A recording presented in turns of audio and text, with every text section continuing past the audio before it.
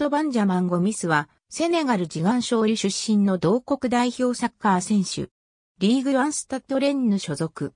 ポジションはゴールキーパー。同じく GK のリス、ゴミスは、兄、モーリス・ゴミスは弟である。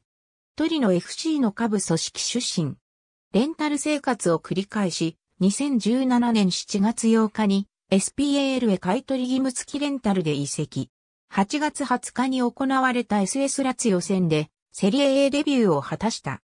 最終的にリーグ戦26試合でゴールマウスを守り、クラブのセリエ A 残留に貢献。シーズン終了後に買取オプションが行使され、完全移籍となった。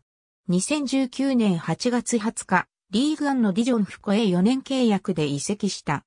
2020年9月29日、スタッドレンヌと5年契約を結んだ。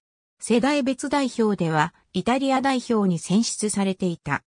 2017年11月に、セネガル代表に初招集され、11月14日に行われた 2018W 杯アフリカ予選の南アフリカ戦で代表デビュー。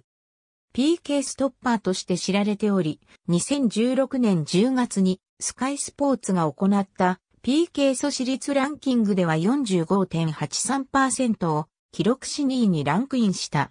ありがとうございます。